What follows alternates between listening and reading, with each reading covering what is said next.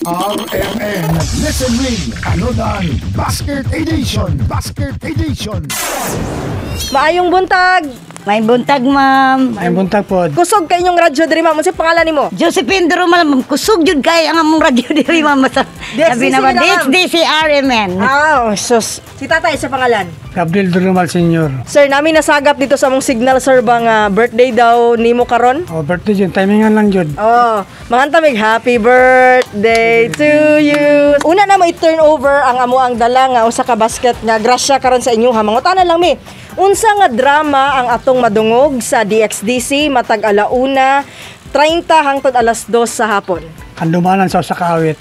Handumanan sa usa ka awit. Sa mong ta, sa Basig na kay uh, usbon sa iyang tubag, ma'am. Sakto to dili. Sakto to, ma'am. Sakto na jud. Sir na jud. Sir na jud mo, sir.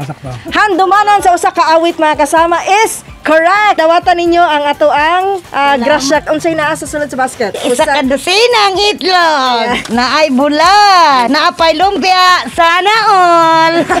Og mantika. Daghang salamat sa RMN DXDC. Daghan kayong salamat sa RMN DXDC Davao. Kauban na to si Angelica og si Kane ang atong mga interns og si Radyoman Joel Baray kini si Radyoman Aimee Ginita alang sa ato ang RMN Listen Win Panutan Basket Edition Tatak RMN. RMN Listen Win Anodan Basket Edition Basket Edition